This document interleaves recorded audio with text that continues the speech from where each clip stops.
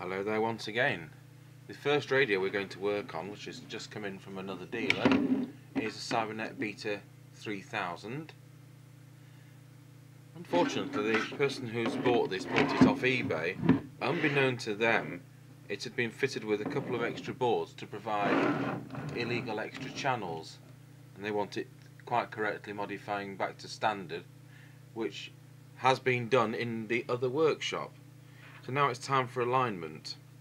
What I've done already is to set the VCO, because the VCO has been messed about with, uh, it was causing no transmit and no receive.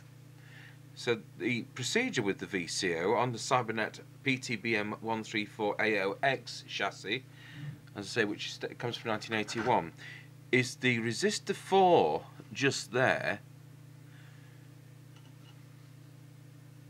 As you're looking to the towards the back of the set. Putting the test prod on there and your negative of course to uh, to um, to the negative um, rail. We should have on channel 40 round about 4 volts. And then on transmit which is going to transmit we should also have 4 volts which we now have so that's already been set. Then what happens is you check it on channel 40 that it's still in lock and it mustn't uh, go lower than 1.8 volts. So again we've done that on transmit and receive. Everything else is now going to take place on channel 20, so in the middle of the uh, band, which of course is 2781 for the UK under the MPT 1320 legislation. The first thing we do in transmit, I'm just going to switch so you can see the um, test set power meter. We've got the power meter on the 3 volt range, sorry, 3 watt range. And I say, because this radio has been messed about with so much, we're going to have to go through everything. So if I just select the other camera, you should see the test instruments if I don't have my shoulders in the way. Picture in picture, there we go. Now I'm going to press transmit. You see the meters now gone over. And the first coil to adjust using the correct trimming tool there is L4 if I remember rightly. The T T2 3 and 4 in that order. Transformer 2 is that one. So we're just going to peak that for maximum. And that is maximum T3 which is the next one along. Peak that for maximum.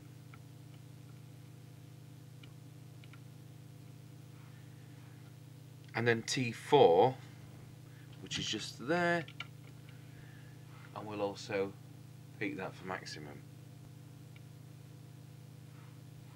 And they didn't actually move at all so there's no improvement being gained. It's actually giving out 1.8 watts at the moment so now we're going to go for L4, L8 and L9. And L4 is that one there in the can. Using a plastic trimming tool. Now that's brought it up two and a quarter.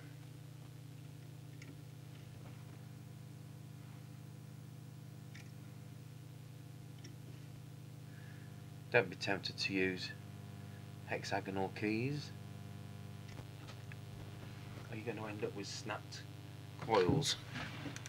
I just have to move over to see where I'm putting that.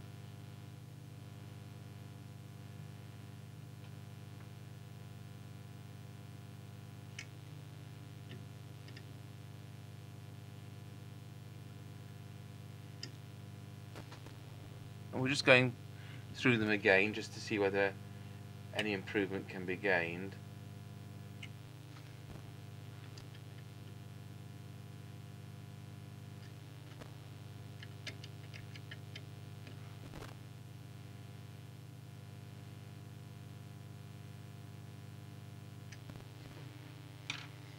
So we're now unkey and that's as peaked as it's going to be.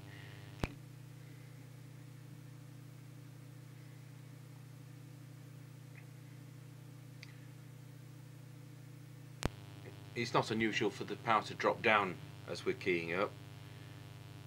And this has settled at let's have a look at that two and a half watts? It's pretty dismal isn't it? Now I'm just going to do is check the audio deviation. I have a little oscillator for this because I'm going to do it two ways. What we're looking for is two and a half kilohertz maximum deviation. Certainly needs to be more than 1.7 it must never exceed two and a half.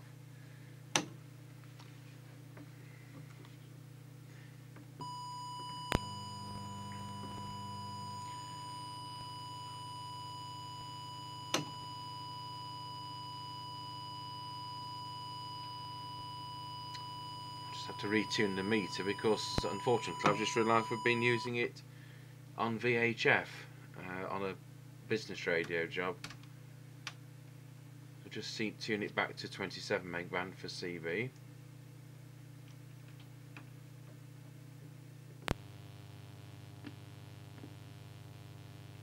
There we go.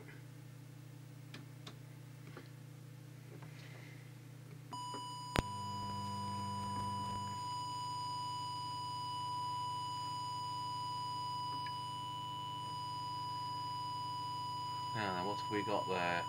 The right hand oscilloscope. These really cheap oscilloscopes. They're only going to show audio and it's absolutely ideal for what we're doing.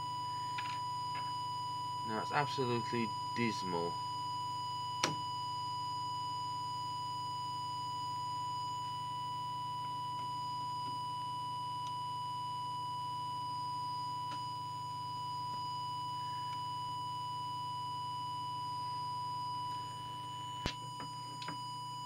Well, that's about there. Now what I tend to do is just do a quick whistle at approximately the same frequency, which is 1 kilohertz. Just make sure it doesn't go over. And it does go over, so just readjust that.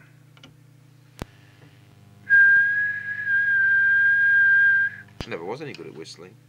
We'll go back to the um, oscillator.